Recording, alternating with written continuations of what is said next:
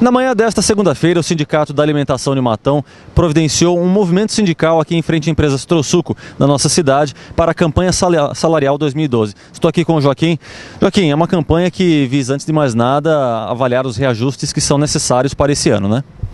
É, sem dúvida, a cada ano que, que se passa, nós nos reunimos aí junto com a nossa federação e sindicatos filiados em todo o estado de São Paulo para tratar é, do assunto relacionado à campanha salarial de cada ano, ou seja, reajuste de salário e outros benefícios que a gente possa estar aí é, buscando para os nossos trabalhadores representados.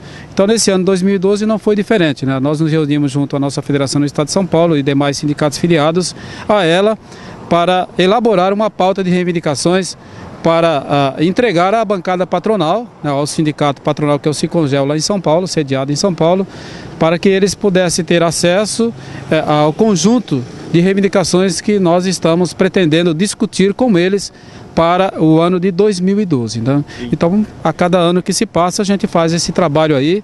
E hoje estamos aqui reunidos na portaria da Citrosuco Paulista, além de ter feito uma assembleia no sindicato para informar oficialmente aos companheiros e companheiras aqui dessa indústria aquilo que nós estamos pleiteando junto à bancada patronal.